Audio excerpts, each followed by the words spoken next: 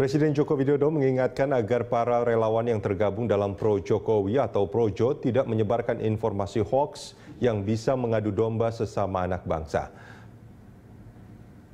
Pesan itu disampaikan Jokowi saat memberi pengarahan saat membuka Rakernas Projo di Sport Mall Kelapa Gading, Jakarta Utara.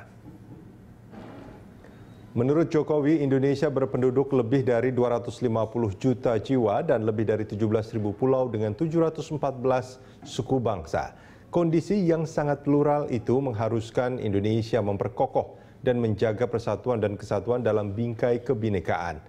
Bagi mereka yang gemar media sosial, Jokowi berpesan untuk menggunakan secara bijaksana dan menyampaikan hal-hal positif untuk semakin memperkokoh persaudaraan. Bukan sebaliknya ikut-ikutan seperti yang dilakukan Sarah Chen. Alasannya apa yang dilakukan Sarah Chen dengan menyebarluaskan berita bohong atau hoax sangat berbahaya bagi keutuhan dan persatuan bangsa Indonesia.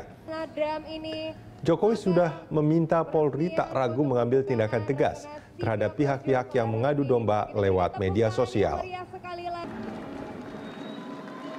Sebab itu, dalam keadaan apa pun, persatuan, kesatuan, persaudaraan ini terus harus kita jalin. Jangan sampai ada yang coba-coba untuk memecah belah. Jangan sampai ada yang coba-coba untuk mengadu domba. Yang saracen, saracenan itu udah harus dilawan kayak gitu.